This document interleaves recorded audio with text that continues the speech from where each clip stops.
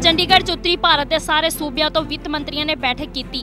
ਇਹ ਬੈਠਕ ਹਰਿਆਣਾ ਦੇ ਵਿੱਤ ਮੰਤਰੀ ਅਭਿਮਨਿਊ ਨੇ ਬੁਲਾਈ ਸੀ।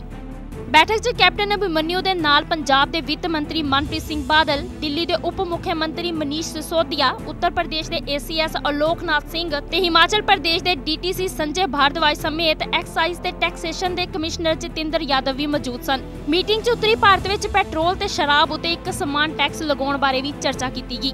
ਮੀਟਿੰਗ ਖਤਮ ਹੋਣ ਤੋਂ ਬਾਅਦ ਪੰਜਾਬ ਦੇ ਵਿੱਤ ਮੰਤਰੀ ਮਨਪ੍ਰੀਤ ਬਾਦਲ ਨੇ ਮੀਡੀਆ ਨਾਲ ਗੱਲਬਾਤ ਕਰਦੇ ਹੋਏ ਦੱਸਿਆ ਹੈ ਕਿ ਸ਼ਰਾਬ ਤੇ ਪੈਟਰੋਲ ਡੀਜ਼ਲ ਦੀ ਕੀਮਤਾਂ ਨੂੰ ਪੂਰੇ ਉੱਤਰੀ ਭਾਰਤ 'ਚ ਇੱਕ ਸਮਾਨ ਰੱਖਣ ਲਈ ਉਹਨਾਂ ਨੇ ਅਧਿਕਾਰੀਆਂ ਦੀ ਕਮੇਟੀ ਬਣਾਈ ਹੈ ਤਾਂ ਜੋ ਕਿਸੇ ਵੀ ਤਰ੍ਹਾਂ ਦਾ ਗੁੰਡਾ ਰਾਜ ਖਤਮ ਕੀਤਾ ਜਾ ਸਕੇ एक इस असूल पे तो फैसला हो गया है कि डीजल और आई मीन पेट्रोलियम प्रोडक्ट्स पे एक कंसेंसस या हार्मोनाइजेशन बननी चाहिए तो एक अ, सब कमेटी अफसरान के नीचे तय कर पाए हैं और वो अगले 10 15 20 दिनों में बैठ के और कोई ना कोई इसके कोई इसका कोई मुस्तकिल हल जो है वो निकल पाए।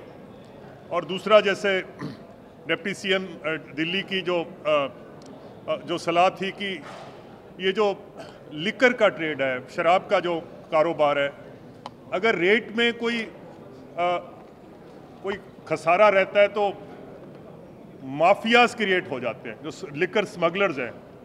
ਔਰ ਉਹ ਵੀ ਦੇਸ਼ ਕੇ ਹਿੱਤ ਮੇ ਨਹੀਂ ਹੈ। ਮੀਟਿੰਗ 'ਚ ਚਰਚਾ ਕੀਤੇ ਗਏ ਮੁੱਦਿਆਂ ਨੂੰ ਜੇਕਰ ਲਾਗੂ ਕੀਤਾ ਜਾਂਦਾ ਹੈ, ਤਾਂ ਉੱਤਰ ਭਾਰਤ ਨੂੰ ਕਾਫੀ ਫਾਇਦਾ ਪਹੁੰਚੇਗਾ। ਚੰਡੀਗੜ੍ਹ ਤੋਂ ਅੰਕੁਸ਼ ਮਹਾਜਨ ਦੇ ਨਾਲ bureau report Dainik Savera TV.